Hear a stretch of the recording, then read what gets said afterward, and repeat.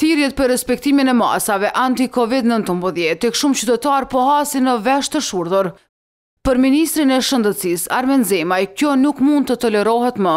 Ne jemi të detyruar që të ashpërsojmë masat.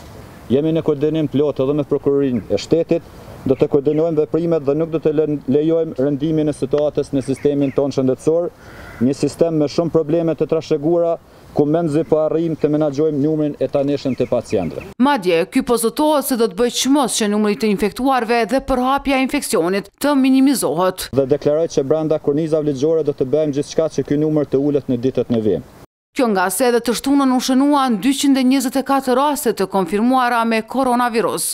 E vendi edhe në këtë ditë u përball me trendin e rritjes së numrit të vdekjeve prej dhjetë sosh në njëzet e katër orët e fundit. Me gjithsej dyqind e tridhjetë e shtatë raste të vdekjes sish kanë pasur edhe sëmundje të tjera shoqëruese. Mirëpo, në komunikatën zyrtare të lëshuar nga Instituti Kombëtar i Shëndetësisë Publike u raportua për një vdekje më pak. Ndërkaq, në njëzet e katër orëshin paraprak u bë e ditur që pesëmbëdhjetë të infektuar nuk i mbijetuan virusit. Viktimat ishin më së shumti burra, njëmbëdhjetë të tillë dhe katër gra, ku mosha mesatare e të vdekurve është gjashtëdhjetë e dy pikë gjashtë vjeç.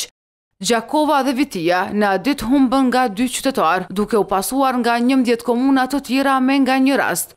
Në menaxhimin e kësaj beteje me virusin korona, edhe forcat e rendit po kryejnë punën e tyre.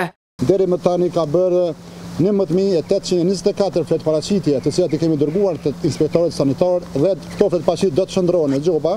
Pastaj kemi bërë katërmbëdhjetë mijë e njëqind e një vërejtje qytetarëve. Me qëllim të përmirësimit të situatës nga Ministria e Shëndetësisë, u tha që nga kjo javë do të shtohet numri i inspektorëve në terren.